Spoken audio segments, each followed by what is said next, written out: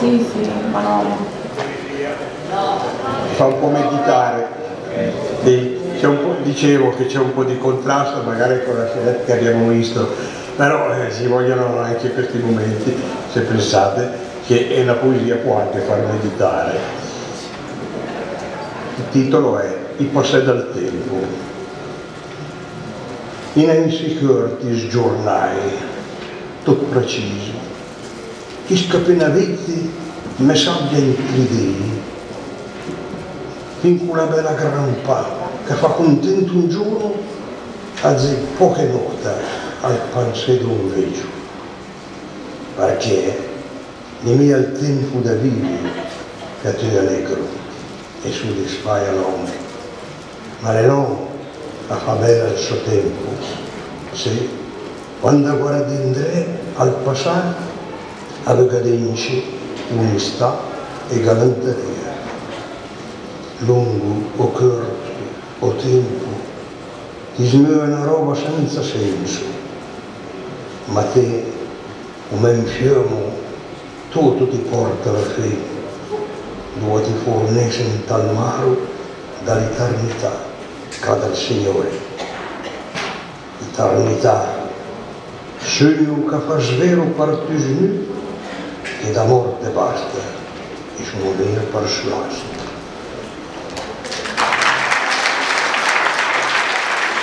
Grazie. E adesso parliamo un po' di momenti di vita contadina, eh, di cose che ricordo quando ero bambino, perché io sono nato un po' in mezzo ai contadini e poi delle testimonianze che ci sono state. La prima cosa di cui voglio parlarvi è i pulè e i rimanti corti, che molti le sapranno già queste cose, ma puntualizziamole. I garini, tutti insieme, gli girava precorta, ma gli aveva abituato andai a mangiare dal, da puntina di sui padroni e indena e indeva domani al noce il tipulè dove avevi una scalinata al perché prendi su dormì diceva dormì in perca. Il terroso di pulè le conosceva un solo a sala cinesca che a sera i tirava su e gli diceva so, so, so pulè, so pulè i perchi di Pulè i doveva verso una dal sud da rotta perché rimai e febbre apposta che adesso tutta su. E ora i perchi e da verso tutti meno scala poggiata che il e ora aveva i mangimi da adesso e in sé e rimai i mangiava di gran foiace al verza e poi verdura magari erba e tarfeur e tutti i panzeruni e tutto quel ti buttava in tigosso a girare pre-era e su strada. I scorpè pre-ori, nido, leva fare il fuoco e i doni gli buttava dentro i randighè, un puntatere, una patata, a forma d'uovo fu della bianca. I garini, dopo cento uovi, gli faceva il centro era un uovo piccolo e normale che la gallina ogni tanto faceva. I gallini, i casini, i faceva anche uovi dappertutto, anche su baracca di fuoco, la catasta del cielo. In dove prendi su e sguarateva fogliare e rampideva coi ciampi. E tanti volte andava a paraggio, andava a paraggio una picca con una ignalpura stretti, che al massimo aveva 14, perché accudeva meglio più sempre. I sgarini potevano andare dove viveva e sciarneva posti dove su a vederli per cui potevano fare le gente corti. I pulastreti avevano tre bene a nascere e ogni caso le sono gariti. Questo che segue invece è una filastrocca gagliatese chi dice che le filastrocche, in parte è vero, non abbiano nessun senso, che siano soltanto delle tiritere che servivano più che altro ai ragazzi per divertirsi, fare le conte, nei giochi. Questa invece io penso personalmente di aver trovato un senso. È la famosa pizzica muriga, adesso ve la leggo, non si capisce niente, ma poi la spieghiamo. Pizzica muriga, la raga la riga, trionda fe, porosce da mazzè, garina zoppa, la vala rocca, ruchin rucò, ciapicavà e va sul da. Oh è in effetti, se ci pensiamo bene, una istantanea di un intenso lavoro di tutta la famiglia, dei famigli e dei parenti e degli operatori in un cortile di una cascina dove non c'era sosta e c'erano tanti e tantissimi mestieri per badare agli animali, ai campi, al giardino, eh, alla concimaia, e al pollaio e tutte queste cose. Vedete che adesso, esaminando verso per verso, salta fuori tutto. Pizzica muriga è pizzica il mugnaio, perché la parola muriga è fra il murnè e il murita. È qualcuno che deve curare qualche cosa che gira. E chi può essere? la, il verso che viene dopo la dice lunga, la raga, la riga, la raga, quando le macine si toccano perché manca il cereale e fanno un rumore secco e si rigano e si rovinano. Allora ecco, pizzica un riga, sveglia il mugnaio, perché la raga la riga, con due versi si dice tutto. Trion da fe, pusci da mazzè, sacanes trio, canzun da saluto. Però è da fè, c'è anche l'altro detto, baja da fè, cioè la mucca che deve partorire.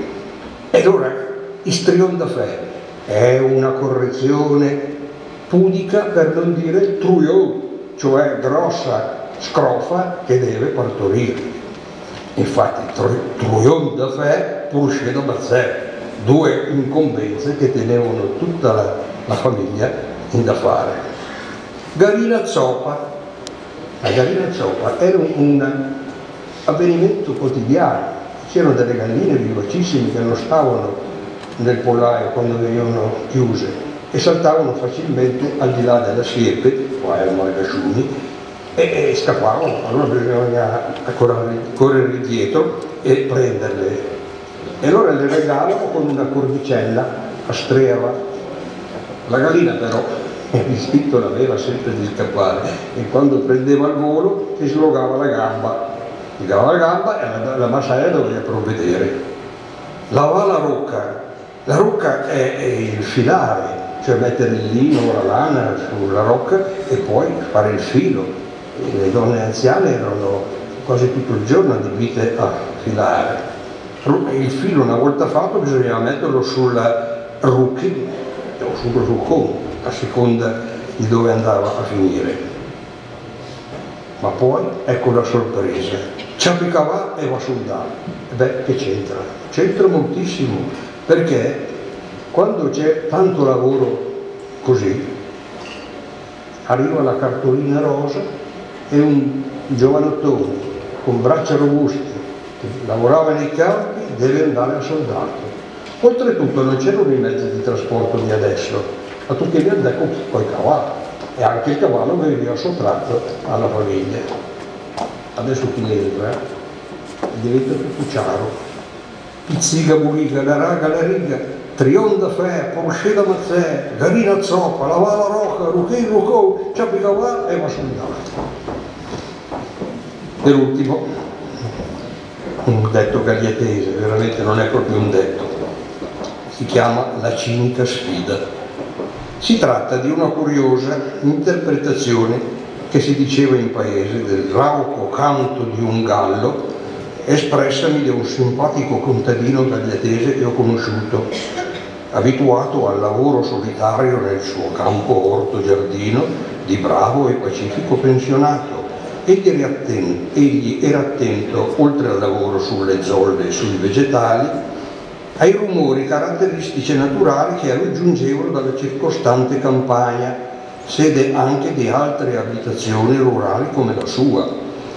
ed era il canto particolare di un galletto che lo divertiva, un verso rauco ma particolarmente audace e battagliero. In quel grido dell'implacabile animale che dall'alba si prolungava ripetitivamente fino a mattina inoltrata, era un qualcosa di sfidante, di guerriero, di spiccatamente maschio e altero. E come capita spesso a tutti noi, un rumore, un suono, un verso ripetitivo finisce per tradursi, trasformarsi nella nostra immaginazione in una frase sensata che, per le parole che quasi par di sentire in esso pronunciate, quel verso divenne in buon gagliatese. Soccorra la croce, soccorra la croce. Ossia, sono, mi ritrovo ancora crudo, adesso sul Natale, come si può vedere, un grido cinico di disprezzo per la propria vita, lanciato al contadino tiranno in aperta sfida. Sono qui, tuttora vivo e non mi hai ancora fatto cuocere. Cosa aspetti? E son come la fre... Grazie, grazie. Voi divertite.